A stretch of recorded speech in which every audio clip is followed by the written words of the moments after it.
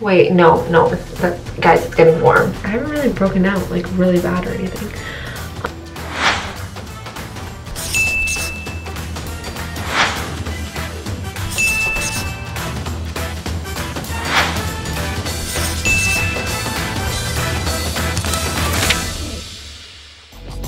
Is Katie Watt and I'm a lifestyle YouTuber here on YouTube.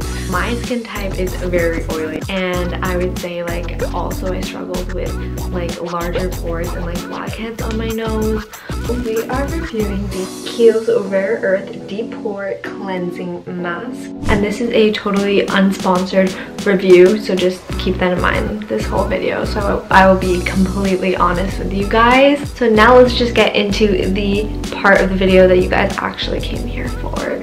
As you've seen from the title, we are reviewing the Kiehl's Rare Earth Deep Pore Cleansing Mask. I think the packaging is quite simple and like kind of the minimalistic look. It's not like the cutest or the most aesthetic or anything. And another good thing about it is since it comes in like this tub, it is really good for traveling.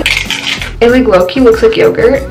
It kind of just smells like lotion, like normal normal cream like lotion. Okay, why does it literally feel like a cream, guys? Like, it kind of low-key looks like a lotion too. What the heck? That's like really weird. Okay, so I just took my makeup off, so I kind of am bare-faced now. I looked it up on the website and it says to apply like a thin layer after cleansing your face and to leave your skin a bit damp. So let's just wash my face with water and then leave it kind of damp. Now it's good. And now we're going to apply a thin layer. Wow, it feels like literally a lotion. It does not sting or anything. Wait, no, no, that, guys, it's getting warm. Why is it getting warm? Oh, I'm kind of scared. Kind of scared. There we go. Now the face mask is on and we're going to leave that to dry for 10 minutes. So I'm going to talk to you guys kind of about the product. Um, so it is a pore minimizing mask and the key ingredient in this is Amazonia white clay from the Amazon River, which is kind of sick. And there's also aloe in this, which is great.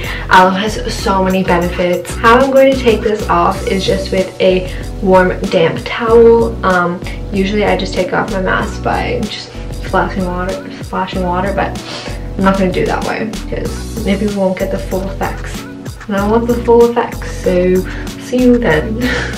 now it is off. I'm looking kind of crazy. Let me just... I like low-key can notice a difference on my left side. Wait, like this is like literally real guys. Like I would not...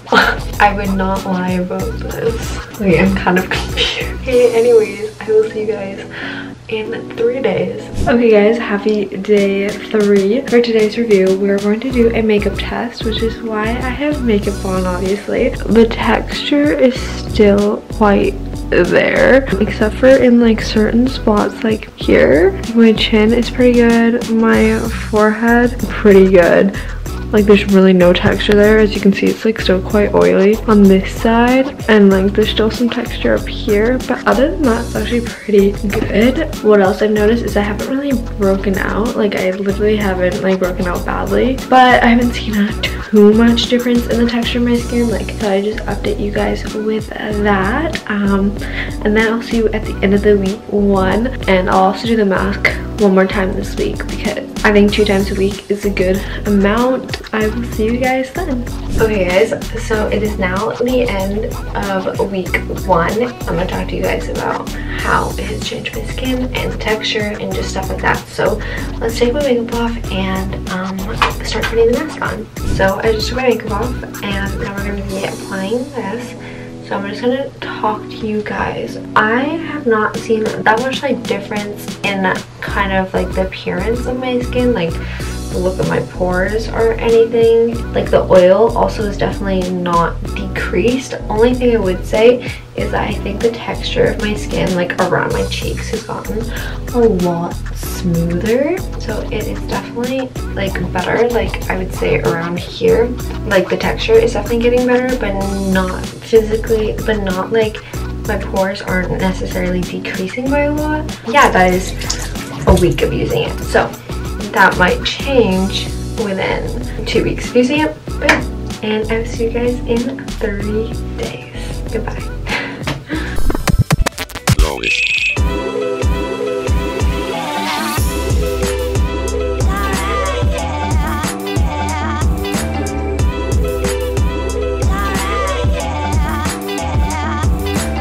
Hello guys, it is now about 10 days later. I just want to talk about how it has been to this point.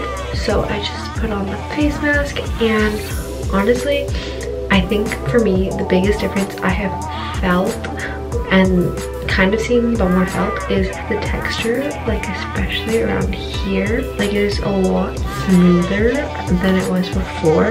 Like the size of my pores, I don't think they've really gotten smaller I haven't really broken out like really bad or anything. Nothing like negative. My skin has not gotten worse or anything. But then I'm gonna see you guys again in a few days for the last review because it will be day 14. So I will see you guys then. Hello guys, happy day 14. It is the last day of this review. It is actually a bit longer than two weeks just because it is a face mask and I've been trying to not use it super often because otherwise it can irritate your skin. One final time, I'm gonna put the mask on and then I'm gonna wash it off and then I'm just gonna talk to you guys again.